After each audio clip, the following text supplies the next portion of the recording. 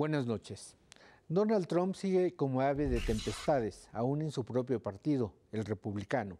Como parte de su campaña presidencial, el multimillonario aspirante a la Casa Blanca ha generado el rechazo de expertos en seguridad nacional que lo consideran poco apto para convertirse en el sucesor de Barack Obama.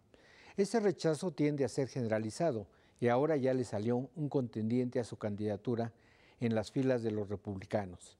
Se trata de Evan McMullin, un exagente de la Central de Inteligencia Americana, la CIA, quien no tiene antecedentes políticos, pero que busca convertirse en el abanderado del voto conservador. De esta forma se convierte en la esperanza de un buen número de republicanos que rechazan a Trump y no lo quieren como representante de su partido.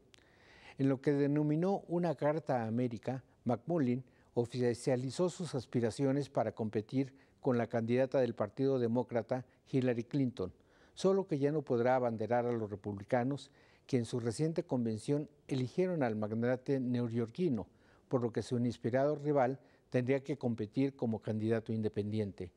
El plazo para formalizar estas aspiraciones está por vencer, por lo que todo indica que contra viento y marea, Trump seguirá como contendiente de Hillary Clinton. Y hasta aquí mi comentario. Muy buenas noches.